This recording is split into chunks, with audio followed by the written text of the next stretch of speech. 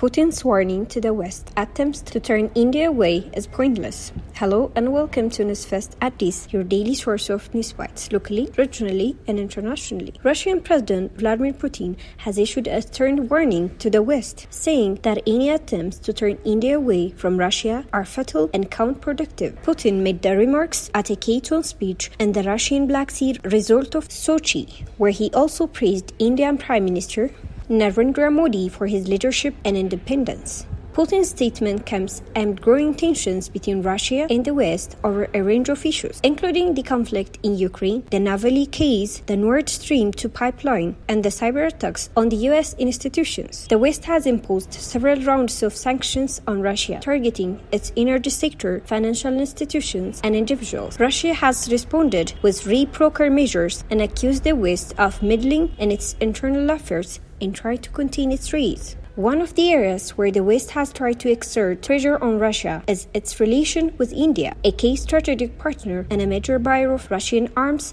and energy. India has faced criticism from some Western countries for counting to purchase Russian oil at discounted price after the sanctions were imposed on Moscow. India has also maintained its defense cooperation with Russia despite the threats of US sanctions under the Countering America's Adversaries Through Sanctions Act, CAA TSA. However, Putin has made it clear that he does not see India as a pawn in the geopolitical game between Russia and the West.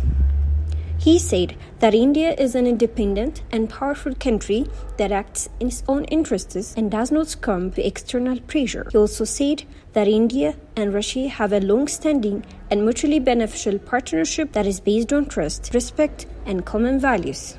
Putin also expressed his admiration for Modi, who he said had led India to greater economic growth and social development. He said that India, like Russia, has no borders as Indians are making their mark in almost all parts of the globe. He also said that India deserves more representation in the UN Security Council and, and supported the idea of reforming the world body gradually. Putin's speech reflects his desire to strengthen the ties between Russia and India, which have been tested by the challenging global dynamics and the rise of new actors. While India has diversified its foreign policy and engaged more with the US, Europe, Japan, and Australia, it has also maintained its strategic autonomy and balanced its relations with Russia and China. Russia, on the other hand, has sought to expand its influence in Asia and Africa, while also reaching out to countries like Turkey, Iran, and Pakistan. The challenges for both Russia and India is to find ways to cooperate on regional and global issues such as Afghanistan, terrorism, climate change, and multilateralism, while also managing their differences on some matters such as human rights, democracy, and India's nuclear program. The two countries have established several mechanisms for dialogue and conciliation, such as